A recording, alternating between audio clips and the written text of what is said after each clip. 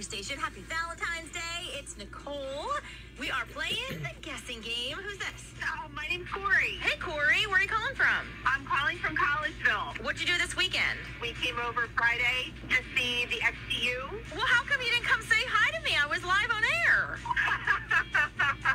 it was just such a, like, there was just so many people. What the hell, Corey?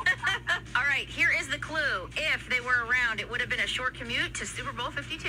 I'm going to say Tupac. No, not it. All right, let me grab another caller really quick. Hi, it's XTU. Who's this? Hey, how's it going? It's Rick. All right, Rick, here's the clue. It is Super Bowl halftime performers. If they were around, it would have been a short commute to Super Bowl 52. Um, I'm gonna say Prince. Yes! All right. And why is it Prince? Is he from Minnesota? Yeah, he lives in Minneapolis.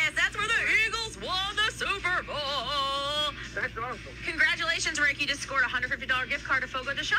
Hey, sounds great. That's just some good eating. that is very true. All this week, another chance to win. It's